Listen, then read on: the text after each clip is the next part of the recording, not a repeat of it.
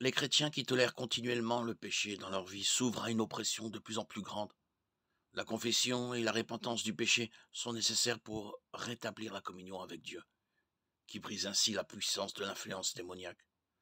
L'apôtre Jean nous donne un grand encouragement dans ce domaine.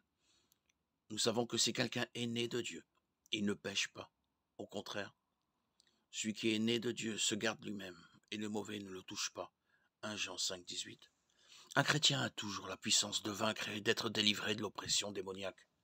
Jean a écrit Celui qui est en vous est plus grand que celui qui est dans le monde. 1 Jean 4, 4. La puissance du Saint-Esprit qui demeure en nous, Romains 8, 9, est toujours disponible pour surmonter l'oppression démoniaque.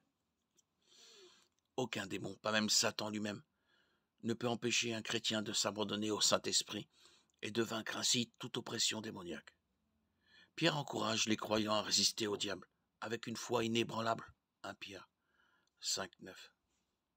Être ferme ou inébranlable dans la foi veut dire compter sur la puissance du Saint-Esprit pour résister à l'influence démoniaque.